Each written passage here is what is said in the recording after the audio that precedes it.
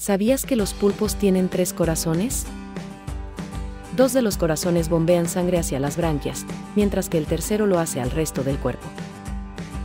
Lo más interesante es que el corazón que bombea sangre al cuerpo se detiene cuando el pulpo nada. Esto explica por qué prefieren moverse caminando lentamente por el fondo marino en lugar de nadar. Es una adaptación curiosa y única.